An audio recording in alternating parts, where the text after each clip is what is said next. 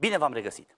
În episoadele precedente am vorbit despre importanța meritocrației pentru o societate prosperă și progresul umanității. Ca orice model, are susținători și opozanți, avantaje și dezavantaje, dar și o dependență esențială de echilibru între toate componentele sale. Ierarhiile sociale explică modul în care sunt accesate sau distribuite resursele într-o comunitate, venituri, putere, avuție, oportunitate, onoare și recunoaștere socială.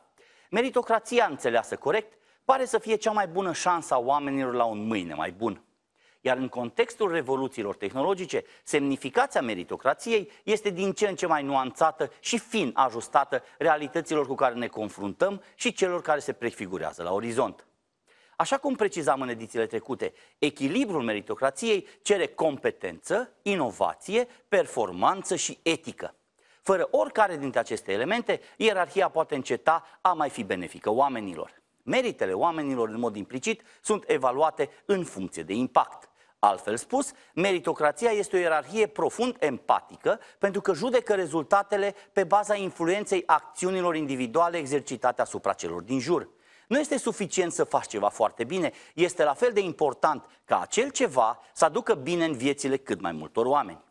Competența ne asigură că produsele și serviciile sunt oferite de oameni care își cunosc foarte bine meseria. Este în interesul consumatorilor sau beneficiarilor ca cei mai pregătiți oameni să fie în cele mai relevante poziții. În caz contrar, pot apărea probleme de la cele simple, precum o mâncare mediocră într-un restaurant, până la cele extrem de grave, precum un tratament medical nepotrivit. Desigur, dobândirea competenței necesită efort, disciplină, acces la informație și formare profesională. Și pentru că este spre binele tuturor ca cei mai competenți oameni să urce în ierarhie, ar fi benefic ca cei care sunt la început de drum să nu fie opriți înainte de a-și împlini potențialul până la punctul maxim posibil.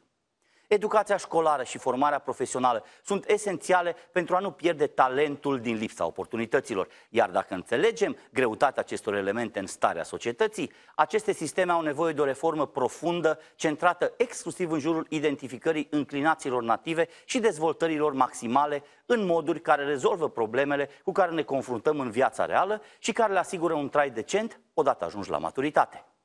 Inovația la rândul său are nevoie de a fi găzduită și încurajată. Ea nu poate exista în orice fel de mediu. Economiile lumii se schimbă într-un ritm fără precedent. Domenii întregi devin gradual depășite, lăsând multe meserii în afara activităților care pot genera venituri în anii următori. Nu este neapărat un lucru rău. Poate oferi oportunități mult superioare celor existente, însă solicită din partea umanității un plan amplu de reconversie economică și profesională. Pentru extinderea inovației avem nevoie de mult mai mulți inovatori, mult mai bine pregătiți și cu o viziune mult mai largă a lumii.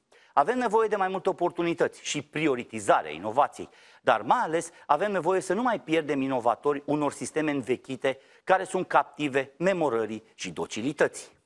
Performanța și etica ar fi benefic să fie strâns corelate atunci când construim o ierarhie meritocratică.